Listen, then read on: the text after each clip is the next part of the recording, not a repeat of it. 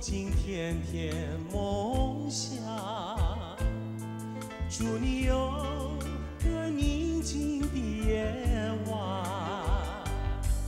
晚安，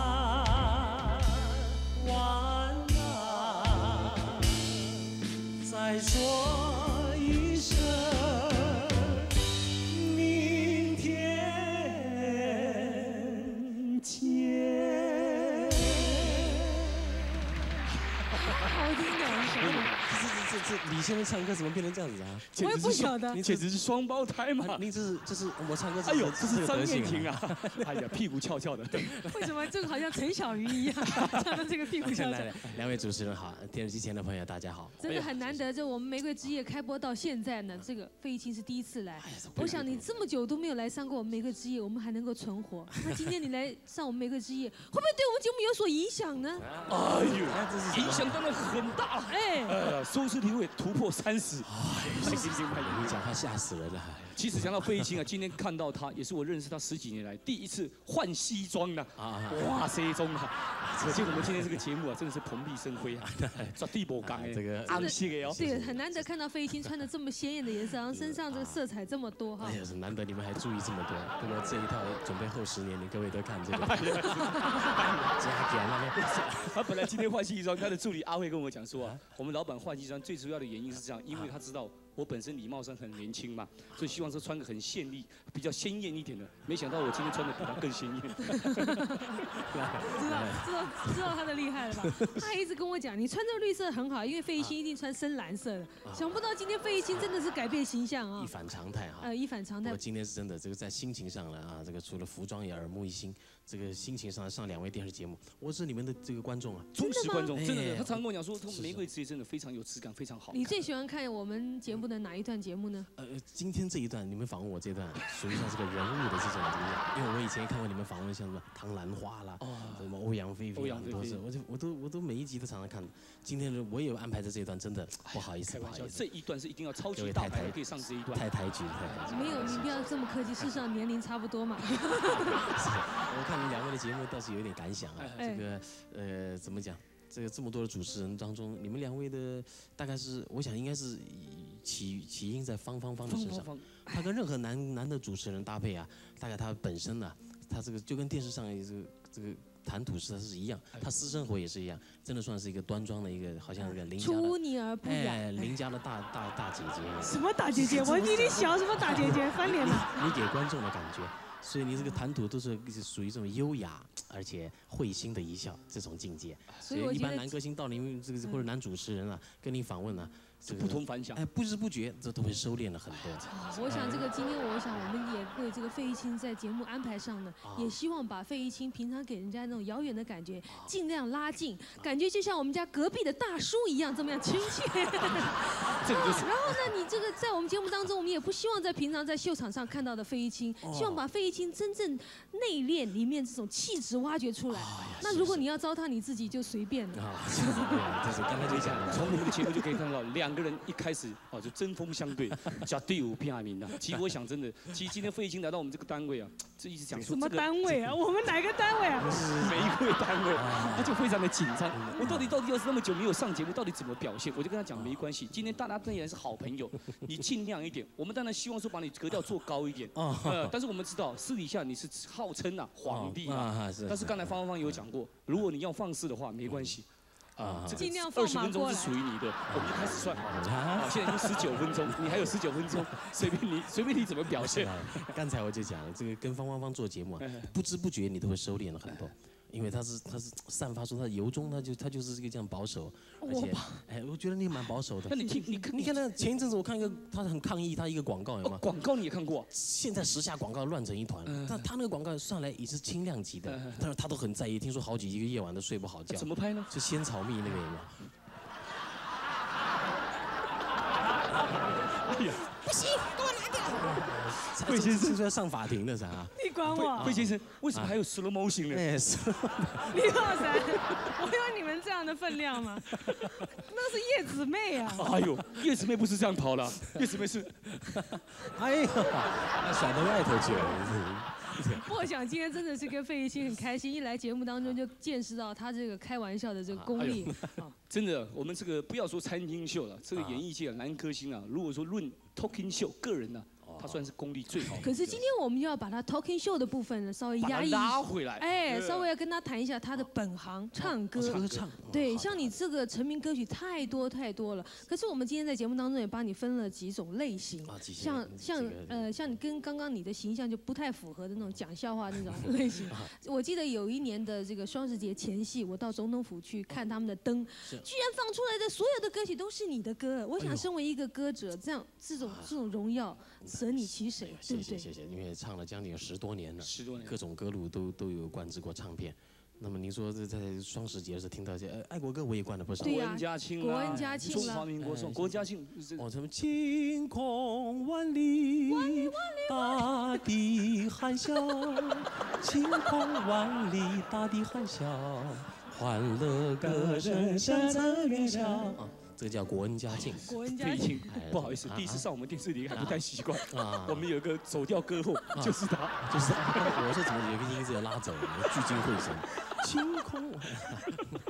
所以我觉得金钟奖歌王就跟金曲奖完全不一样，就是啊破破坏他，他不是不为所动的，不像李茂山。啊常常被拉走。但是讲到国恩将军，我们知道以前真的是啊，这个没没没碰到这个普天同庆的时候，国恩将军是必唱的歌曲啊。还有一首歌曲大家非常耳熟尤其啊，每到碰这个有在国外这个碰到这个对这个有点欺负我们中国人的时候哎，呦这首歌都必唱，叫《中华民国颂》。哦，青海的草原，一眼看不完。喜马拉雅山，峰峰相连到天边。中华民国是，真的是好听，真的好听。而且你看，那么好的歌声，为什么把你自己形象破坏掉呢？他形象有破坏吗？是你帮他破坏。还有《妹妹松开我的手》这首歌也是，是哎呦这首歌你都熟悉啊当然我是他的这个歌迷。哎真的假的？他他真真有他们家这个歌，我我们家这个不是他们家，我们家有费玉清全套的这个他所出过的这些。听我说，方妈妈是他的歌迷嘛，对不对？哎，对，哎呀，没想到你年纪也那么大了。那这首歌曲你还还记，本身是还是记不记得？啊，这记得记得，妹妹松开我，松开你的手。哼一段呢啊。天上的云也愁，地下的草也愁，云浓得散不开，呀，草愁得低了头。妹妹松开真的是也是非常一首真的是好好听的一首歌。不过我想这个小调歌曲，大家就不能不提到这个费玉清的船歌。哦，船歌、哎呀，船歌前面那几句就是真的是一绝。哦，这船歌对，以前我拿了这个唱片，这个这个制作拿这个歌来，我说这这个歌就像像看歌仔戏一样，还拉那么长的，这首歌能够唱成像歌仔戏，那倒真是不容易了。本来还剧唱呢，真的这这怎么挑这种歌？后来呃音乐打好，一唱上去，哎呀，想不到，哎呀，出一上市以后，这个反应不错也，不太一样非常的好哎，传歌是吧？喂，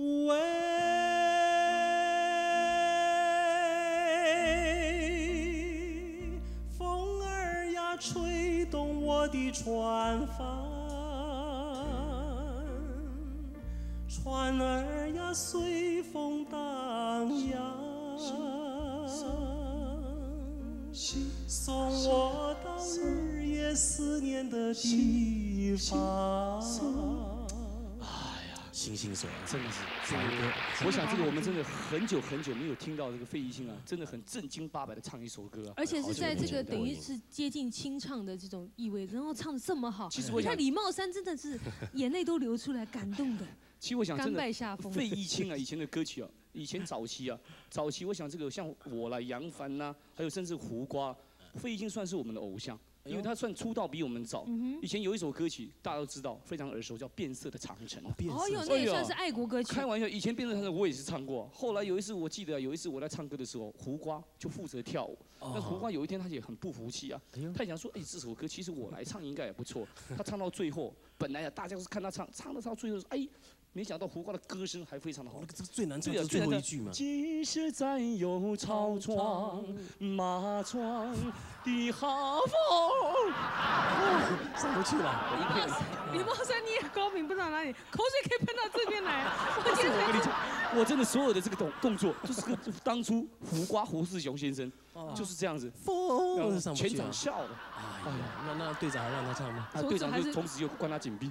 还是叫回去继续跳舞。其实这首歌曲啊，我想这个可不可以稍微哼几句，看对，后面到底怎么唱的？变色的长城。后面后面后面，即使再有操场、马壮的好，不是我一唱上去啊，大家这要他一定唱得上去，没意思吗？好风光，这比较特殊一点。要配合胡世雄先生。是 吧其实我想着，讲到讲到讲到很多歌曲啊，有像像像，我想这个很多老歌啊，他也曾经唱过。对，而且这嗯这么你出版过这么多的老歌，自己比较偏爱哪一首呢？嗯，像像老歌真的也是发掘不完的啊。嗯像我让观众比较印象熟悉《雪山盟》啊。雪山，哦，雪山盟，哎窗前飘下了枫叶，山巅填满了雪堆，为什么你还不回来？不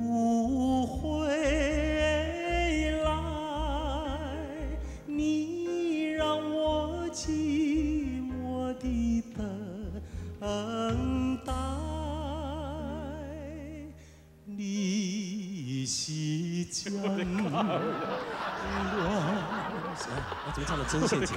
怎么会唱到真陷阱哎我？看您我在唱歌，您这么捧场啊。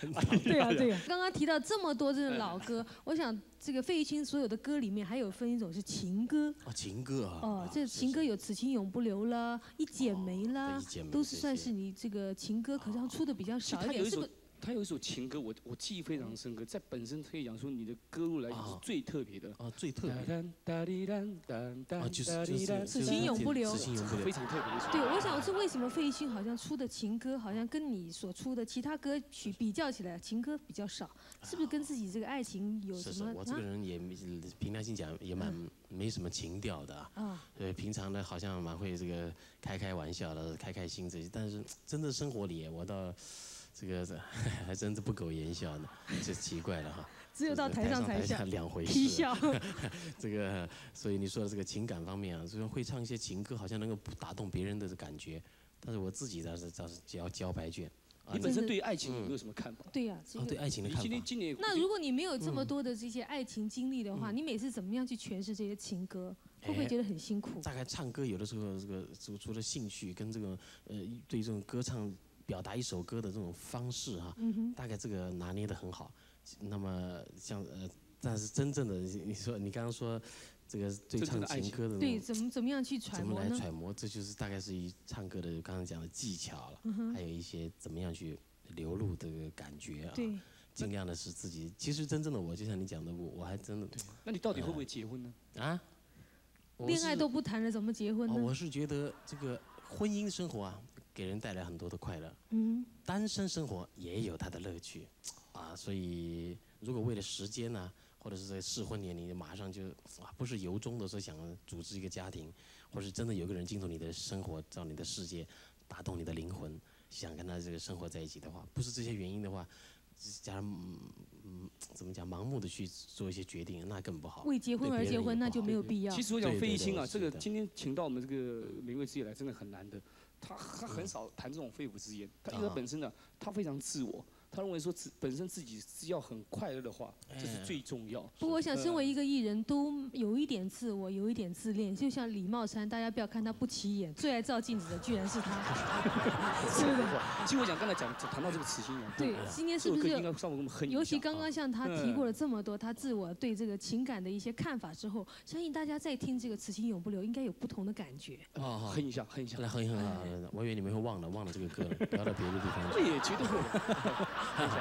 不要再问我，不要再问我，此情永不留。要再问我，不要再问我，我心里好难过。不必再回头，不必再回头，回头也没有用。